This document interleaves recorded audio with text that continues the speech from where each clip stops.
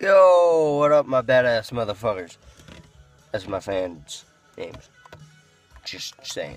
So you know, calling you my badass motherfuckers.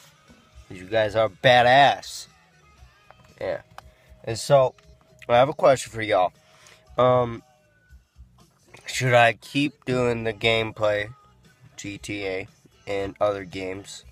Or should I just stick to music? Because, um, I, I like doing the gameplays, but I feel like maybe you guys just want the music and not the gameplays. So it's up to you guys. I'll let you guys decide. Um, put down what you think on the in the comments, and uh,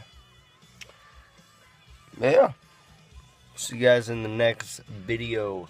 And don't forget, Ashes is coming out August 9th.